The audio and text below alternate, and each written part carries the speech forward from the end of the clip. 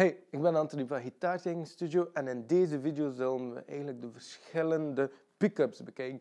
En wat ik hier op mijn schoot heb, dat is eigenlijk een Carvin gitaar, maar het gaat vooral over de pickups. Dus die, die hebben eigenlijk elementen met een hogere output dan de gewone single coils die veel dunner zijn. En humbuckers zijn vooral uh, bekend om hun gebruik in zwaardere muziek. En je zal direct merken, we zullen eigenlijk met een soort distortion werken. Dat is een uh, effect eigenlijk die ja, eigenlijk praktisch altijd in uh, zwaardere rock gebruikt wordt. En we zullen dit effect dan eigenlijk gaan vergelijken op de verschillende elementen. Dus met de humbuckers krijgen we direct deze zware klanken.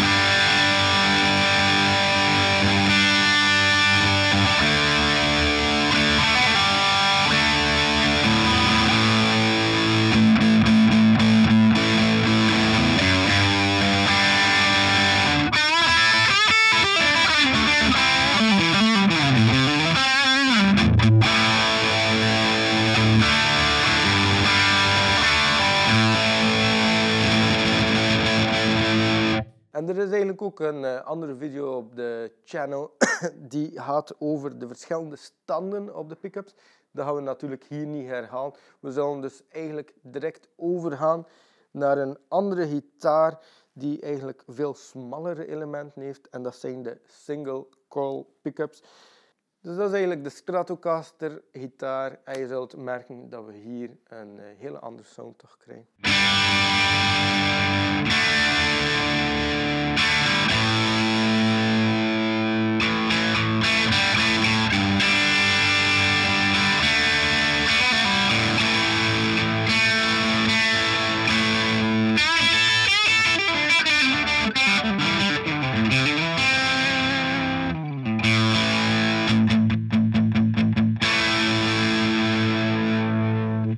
Het is misschien moeilijk om volledig te horen, maar hier had die gitaar toch wel nog iets meer van zijn natuurlijke kenmerken behouden. De houterige klank, terwijl daar juist met de humbuckers kregen we direct die krachtige humbucker sound. Terwijl hier bij de Stratocaster blijven we toch ietsje dichter bij uh, hoe dat de gitaar clean klinkt. En dat is natuurlijk door die elementen dat we hier gebruiken. Hè. Dus die zetten eigenlijk de klank om en en een elektrisch signaal die naar de versterker wordt gestuurd. En natuurlijk, de elementen zijn dunner, dus we gaan eigenlijk ook minder output hebben. Dus minder dat uh, zeer zwaar bombastisch geluid, zoals daarnet bij de humbuckers. Dus dat is eigenlijk het grootste verschil tussen single calls en humbuckers, meer output.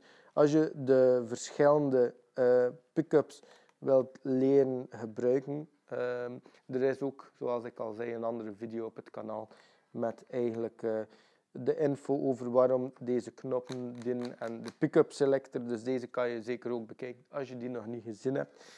En nu dat we e- even de klanken hebben vergeleken tussen de single coil pickups en dan de humbucker pickups, uh, kunnen we ook een keer kijken naar de gitaar die ze alle twee combineert. Nu, als je zelf op zoek bent naar een gitaar um, en je wil geen compromissen sluiten, is dat misschien een optie.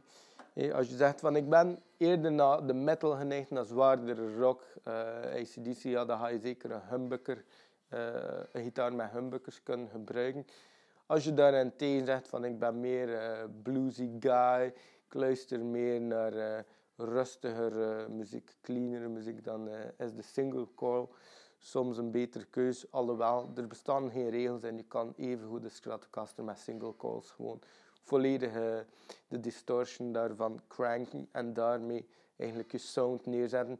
Uh, veel heeft ook te maken met gewoon te luisteren naar hoe dat alles klinkt, te vergelijken en wat dat je zelf je persoonlijke voorkeur is. Er bestaan eigenlijk geen neergeschreven regels wat dat daarin moet uh, gebruikt worden.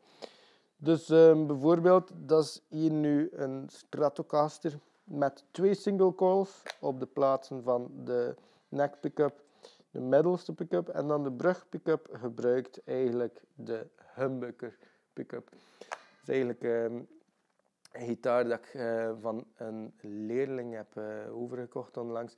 Die nu een stapje hoger is gegaan naar de, strato, de Amerikaanse Stratocaster. Dat is een Mexicaanse Strat die dus eigenlijk met een humbucker werkt. En uh, dan hoeven we geen compromissen te sluiten, hebben we alles in één. Ze noemen zo'n gitaar ook wel een superstrat, eh, omdat we eigenlijk een strat hebben, maar lichtjes gemodificeerd eigenlijk hier, zodat we toch die humbucker sound kunnen krijgen.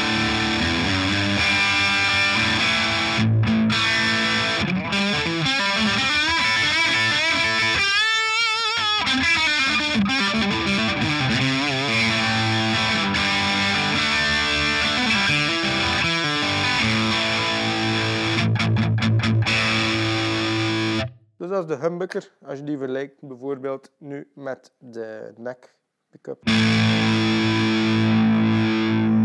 Hoor je toch wel een heel verschil.